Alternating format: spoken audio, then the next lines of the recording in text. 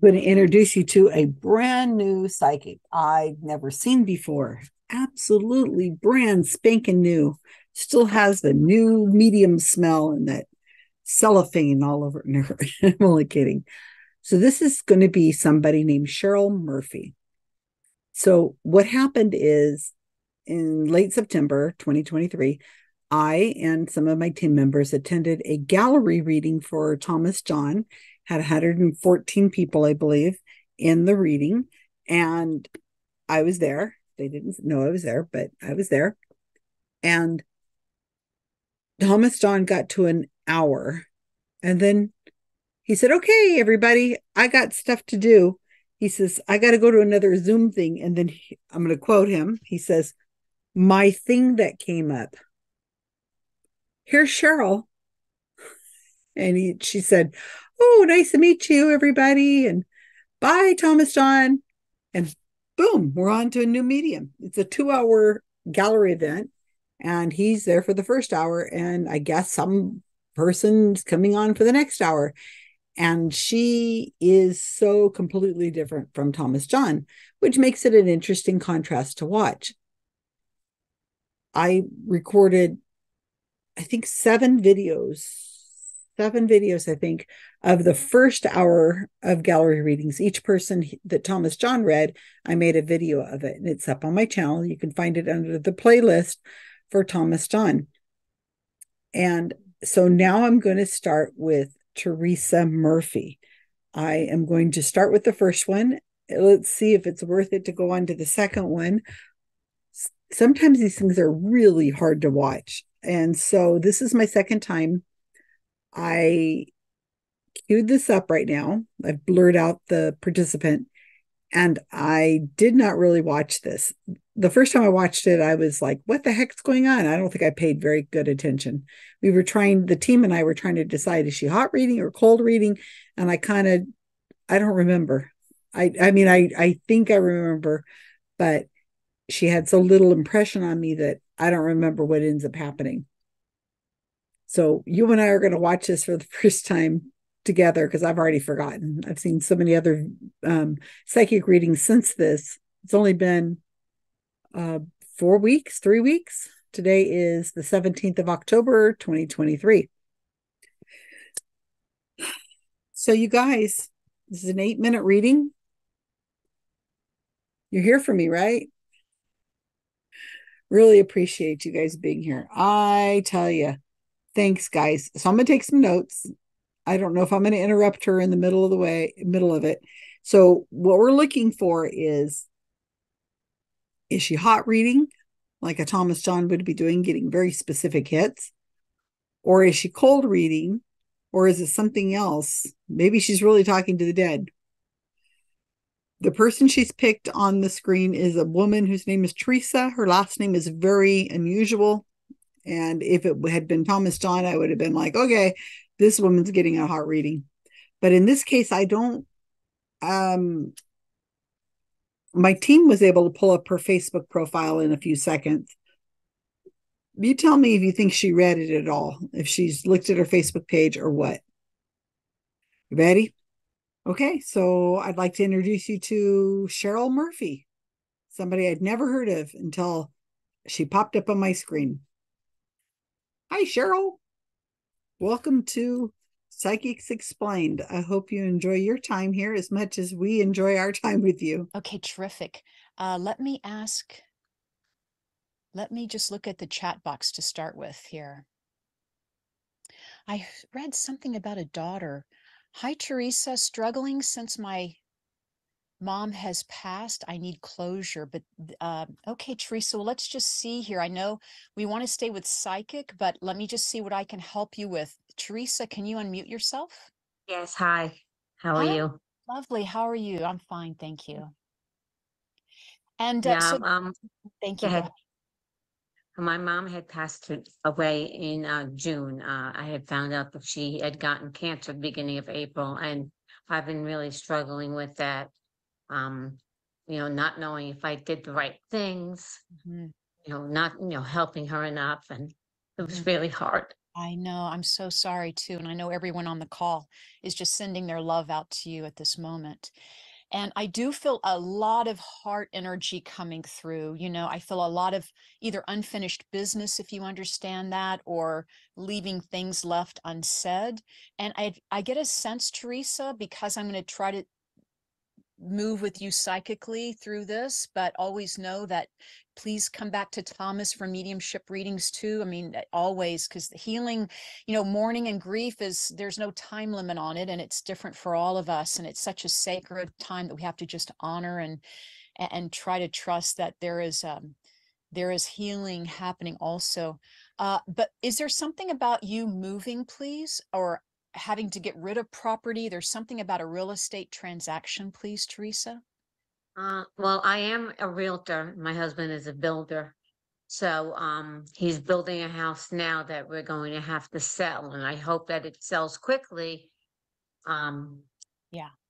He is unfortunately not living with me at the time. We are together, but kind of separated, so. Definitely. And uh, look, uh, when I feel from your mom is she sends signs as angels or angel wings to let you know that she's around.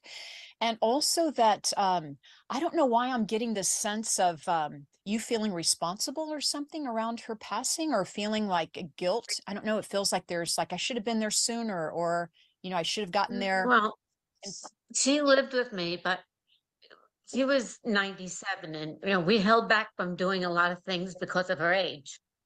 And I just felt like, you know, should I have taken the step and had the surgery done? Mhm, Um, you know, it took so long before we could even get any sort of medication for her that she wasn't even able to start chemo. mhm. But because she was so old, you know, at, at ninety-seven, we were afraid to do all these things. And know she had one bound route, um, one uh, round of radiation and that was it. She stopped eating and that was it. Yeah. I feel that you have your mother's strength, actually, is what I'm hearing, you know, in some way that she's letting me know that she's walking, of course, that she's better, and that uh, it's always important to know that she's at peace. That's always the number one thing, Teresa, is to know that she's at peace and she's resting. And let's see, someone, if they could just mute themselves, I'm not sure who that is, but um, Are you able to, um, see if she's with my dad or can you bring him forward or? Yeah, well, uh, because I'm trying to stay uh, psychically with this, just to see if she does come through, but really the focus is about the healing with you. I just Uh-huh. feel you gathering all these papers and going through them. I did hear the name John or James, if you understand that, please, a J initial. John was my, my, um, uncle and my grandfather. Yeah, because she says she's over there with a lot of people, you know, not Mm. just that. And I just keep hearing animals ho- running around. I don't know if I feel little bunny rabbits. I don't know if they're dogs or bunnies. It's like they're just hopping and jumping. Uh, so I'm not just so tuning in. I'm just feeling Yeah, the I had, I had a lot of dogs Yeah, and, uh, right. yeah. I just feel the energy stream. It's like a wave coming in of animals, right? So it's it's not probably just one, but she's over there. And I want to tell you that um, you know, your mother is uh, very complete. I just feel very complete and at peace in her life. And it's not about blaming or holding anybody responsible. I want to say that she knows that she was in good hands when she left this world, if you understand that, please. Mm. Uh, and that she is with God, that feeling. So I do her feel her being spiritual or religious, if you can understand. Very much that. so, yes. Uh, so just knowing that, and I really get the last thing I hear from her at the moment is just if you want to, uh, write her a letter. And you know, it's not about um, it's about really about expressing yourself emotionally, uh, but it is about you communicating with her. And I want to tell you that um, I don't know why she gives me the signs of angels again and angel wings, but I really get a sense of that being a connection or a connecting sign for the two of you, please. You're very Mhm. much a heart to heart connection. And you know that uh, in, in some way she's still with you. And I just want to say, I feel like she's better than ever. And that you smell her or you smell that fragrance or that scent around, I'm sure. Uh, Yeah, her bedroom with- was right next to mine, right? yeah. Uh, and uh, she loves, uh, she loves, uh, you know, she always loved your hair, is what she's talking about. Always loving the beauty of how you always presented yourself. And once again, she could not be any prouder. And I have to leave you to say this again, Teresa. You have her strength. That's what she's telling me. Like you, you're very very strong okay and uh, there's so much love coming to you and i'm i'm going to leave you with that teresa um, Thank i just you. know that there's something about you connecting with her through writing you know whether you're Yeah. writing just a letter in your journal please know that and time has not passed on the other side like she's right here with you and uh, she says she can breathe again you know and i know you mentioned eating but no she's breathing and she's eating she's thriving i feel like she's playing checkers and here comes the board games and very social with your mom if you understand that or at least you know Mhm, loving loving to have people around her mhm. and your Thank you mom's so all much. yeah your mom is all heart and she's in a good place and it's really about you getting rest or caring for yourself and and you'll see her again no doubt about it Mhm. You know, once I again she's hope so. in good hands Teresa. Someday. He's in good hands. Well, thank you so much. Thank you so much for that Uh, reading. I you know what? appreciate it. What a joy. Thank you for, and what a pleasure to read you. Oh dear Lord, that was just so much hooey.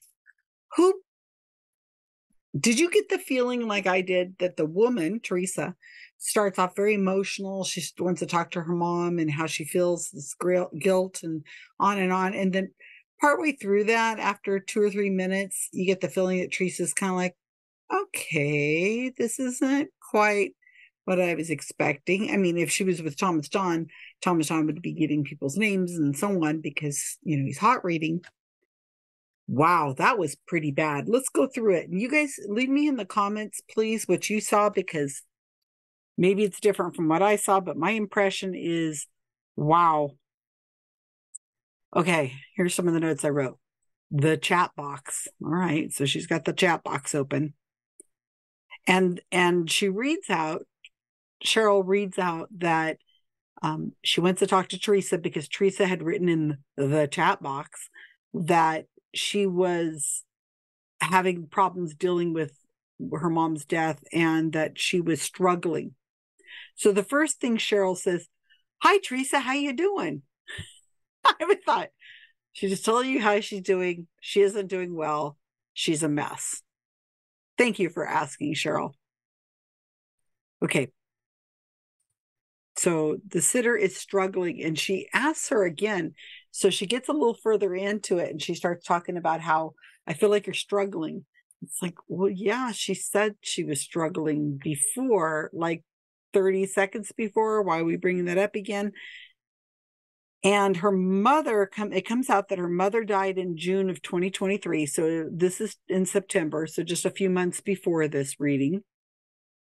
And she says, Cheryl says, Are you moving?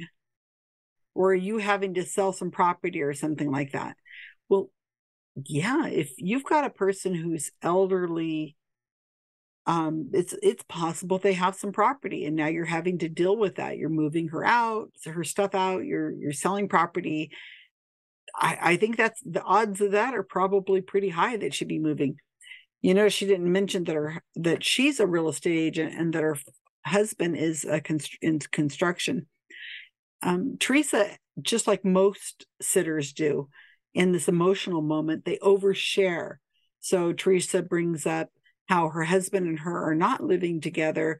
He's, um, but they are still together, but they're not together right now. And he's, they're living apart, and their mom is 96, and that she feels some guilt because she wasn't able to um, because her mother at the age of 96 or 97 has cancer and she feels bad because they didn't have the surgery and didn't have the chemo. She's 97. Goodness gracious. No.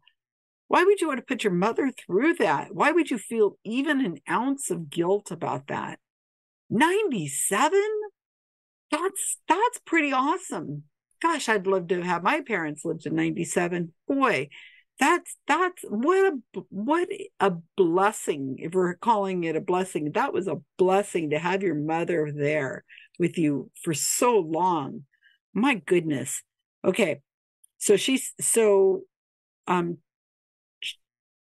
Cheryl starts talking about that there's angel wings and angels around. That's the sign she's getting.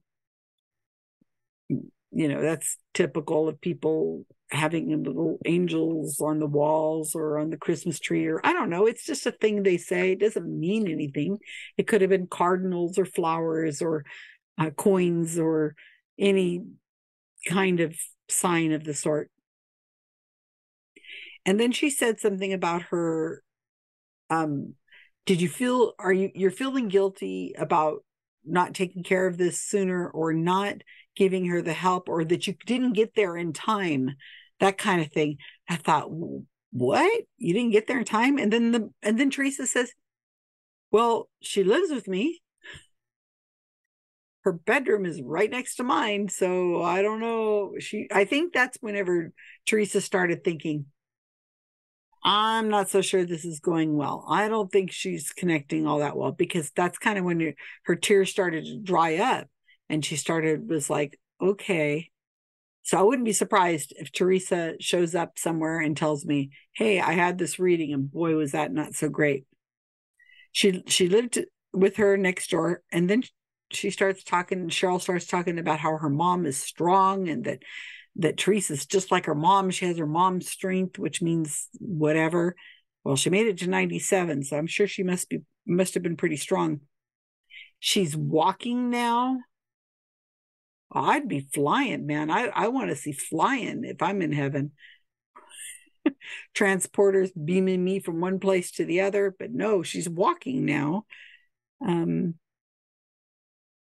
something about what I why did I write this? Stay with the psychic with psychic healing. Oh, she was saying uh, whenever whenever Teresa says, "What about my dad? Is she over there with my dad?" And Cheryl says, "Well, I'm trying to stay with the psychic healing, the psychic bit. I'm trying to help you heal." Okay, more on that in a moment. But if she's trying to stay with the psychic stuff, why did she immediately go to mediumship and talk about her dead mother? I don't know. Okay. And then she pops in because she suggested a, you know, is she over there with my dad? And she says, I'm getting a John, a James, a J name. Oh that's that's like some of the worst cold reading that there is. Oh man, that's like really bad. And um, so then Teresa pops up and says, Oh, that was I, I had an uncle and and and my grandfather or something like that. We don't know if that's on her mom's side or not, but she pops up with those names, and then Teresa's, I mean, and then Cheryl's kind of like, "Oh, that's great." Moving on, I'm getting bunnies and animals, and they're doing a lot of hopping. oh my gosh, you guys, this is really bad, really, really bad. Cold reading. And then Teresa says, well, I've had a lot of dogs. And so Cheryl doesn't mention any dogs. Oh, yeah, yeah, dogs. Very active.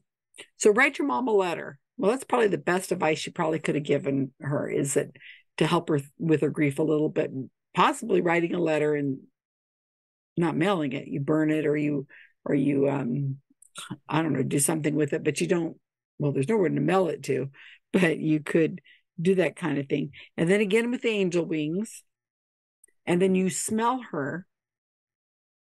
And Teresa, like I said, I think she's kind of skeptical of this. She's she says, Yeah, well, her bedroom was right next to mine. And she kind of dwindles off with her voice whenever she says that, like, yeah, of course I smell my mom. There it's only been a few months and the and she was all over the house and of course her smell her her her perfumes her her her all of those things are still probably in the house and they still probably comes across it every so often and you smell her. Well yeah. Her clothes are probably still there that kind of thing. And mom loves teresa's hair And mom is over there, I guess, in heaven playing checkers and other games and loves to have people around her. And she's doing great. So let's get this straight. Mom is 97 years old and has died. The Teresa's feeling guilt because she didn't give her mom surgery and chemotherapy at 97. So it's only been a few months, and we all know grief is something else. I mean, it's there. She hasn't worked through it. I mean, it's always going to be there to some extent, but it's still very fresh. She's probably dealing with all the stuff you have to deal with when somebody dies, you know, all the paperwork and the and get rid of things and you know uh, i mean there's just so much involved after a death that you have uh, writing letters people sending you letters telling you you know you have to let everybody know obituaries. I mean there's a lot to do. So so teresa's probably a little stressed and i don't blame her. You know family photos and and so on that are, you just have to deal with. But here's here's your mom. She's on the other side, which would be pretty awesome to, to she's she's you've got contact with your mother. This is amazing. You're in contact with your mother and mom has this great message for you and she says, "I love your hair." Really? Cheryl, that's all you can do? If you were in heaven, I um she's breathing and she's walking and she's playing checkers. That's it. That's the best you got. Sending you angel wings. Anyway, that was horrid. Just horrid. I'm I, I don't know what you guys thought of that, but leave me leave me your comments. This was really bad. Unfortunately, this is like a lot of mediumship readings that I listen to that are cold reading. This is about the quality of it. I want to read one thing to you that I think I think this is really um, something I should probably mention more than once. So I posted a video up on my Facebook feed, and one of my dear friends, Daniel Reed, over in West Virginia, he left me this post, and I want to read it to you because I think it's really important that we understand we understand this. So let me read it to you. It's only two paragraphs long see if I can get it so I can read it. No, I guess not. I have to pull it over here. So Daniel says, having taught counseling and having been a therapist, the purpose of therapist is to help people learn to cope such that they don't need the therapist again. The purpose of therapy is not more therapy. Therapy is meant to help people deal with and process their emotions Sure, the person may need a therapist again in the future, but the overall goal is to discharge the person and to promote emotional wellness. If a person believes that they need to rely on someone else to help them talk to a dead loved one, it does not engender independence, but rather dependence. To me, psychics or mediums are like drug dealers. Their clients become reliant on them. Sure, the person who visits them may feel better afterwards for a while after their visit, but so does the drug addict who gets a fix after visiting a dealer. The person may feel better, but to what end? They didn't learn to process emotions on their own or learn coping skills. Instead, their clients become dependent on the psychic or the medium for the next fix. As a former clinician, I find the idea distasteful. Very interesting. I think that's really well said, Daniel. I will probably figure out where I'm going to put this in future articles and mention it in future videos. And I've heard this from other people as well that that when when you see almost always it's women these women going back and to the same medium over and over and over again and it's usually the same kind of issues you know they're feeling guilt they can't seem to move on i mean of course you will never you're going to remember that person and of course you're going to feel that tug on your heart and of course you miss them like crazy but i guess because i've seen so many of these readings you feel that you know the the the crying and the and the guilt and the emotion and the and the pain and they just can't seem to they can't seem to get out of this cycle that they've got themselves into. And like Daniel says you need to find a way of getting past that guilt so that you can find a way of moving on with your life. Even though you know of course it's not going to be always the same, but you move through it.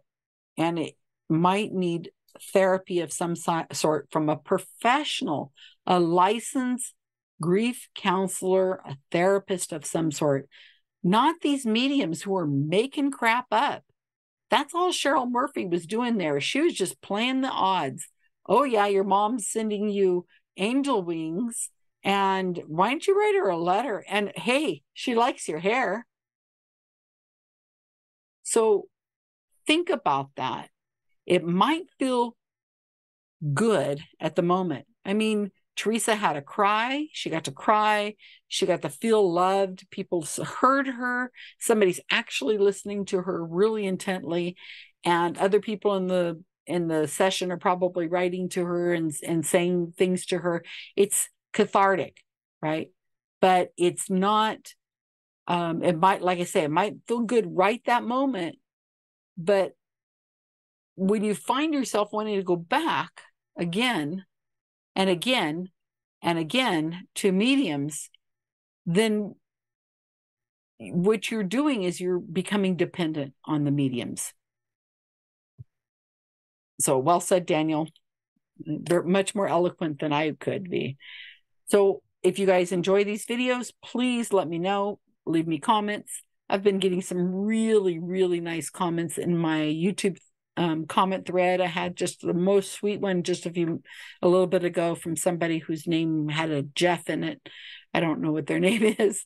Um, very, very kind. And they were talking about how they, the love of their life, um, died, I think 18 months ago, and they would really love to be in contact with that person but it wouldn't be healthy for their for for them to be they could see that this would be unhealthy for them. And and it by not going to a medium they feel like they're able to process the grief and get get a move on with their life. So it's a very kind comment. I appreciate that. Um cheryl what do you guys think?